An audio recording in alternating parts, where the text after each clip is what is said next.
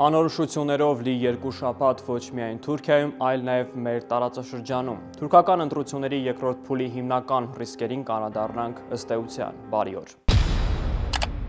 Թուրքիայի նախագահի ընտրությունը կտեղափոխվի երկրորդ փուլ, որը կկայանա երկու շաբաթ անց։ Դրա մասին է վկայում ընտրության նախնական արդյունքը, որի համաձայն թե Էրդողանը, թե ընդդիմության տեխնացուն չեն հավաքել 50%-ից ավելի ձայն։ Մայիսի 28-ին Թուրքիայի քաղաքացիները երկրորդ փուլում պետք է նախագահ ընտրեն։ Առաջին փուլում ընտրությունների մասնակցությունը 88%-ից ավելի է եղել։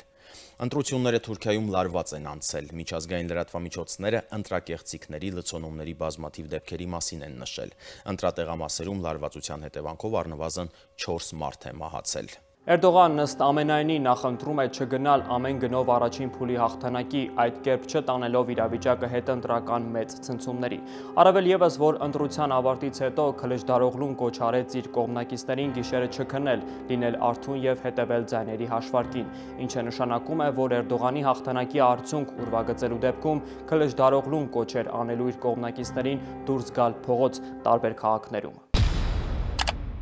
Ինչպես էլ ավարտվի ընտրությունը Թուրքիայում թերևս մի բան անկասկած է, որ այդ երկիրը մնալու է նյարդերի վրա, ինչպես վերջին մի քանի տարիներին։ Խոսքն այն մասին է, որ ընտրությունը հերթական անգամ ցույց է տալու թուրքական հանրության հստակ երկփեղկվածությունը։ Իսկ դա էլ նշանակում է, որ հաղթող մի կողմը որևէ կերպ չի կարող իրեն թույլ տալ լրջորեն չվերաբերել մյուս կողմի գոյությանը։ Այս հանգամանքն է թերևս, որ հիմք է տալիս խոսել այն մասին, որ կողմերն այդուհանդերձ կարող են թեժ պայքարին զուգահեռ որոշակի շփումների միջոցով փորձել պայմանավորվել ինչ-որ գծերի չանցնելու եւ քաոսի դաշտ չմտնելու հարցում։ Սա կարող է բխել նաեւ Թուրքիայի հարևանների շահից։ Այն իմաստով, որ քաոսի մատնված Թուրքիան կլինի թերևս ամենաանցանկալի տարբերակը, քանի որ դա կառաջացնի մի իրավիճակ, երբ այդ քաոսը կստեղծի պղտոր ջուր ոչ միայն բուն Թուրքիայում, այլ նաեւ այն գոտիներում եւ ռեգիոններում, որտեղ Թուրքիան ստանձնել է նշանակալի դերակատարում։ Հենց այդ գոտիներում կարող են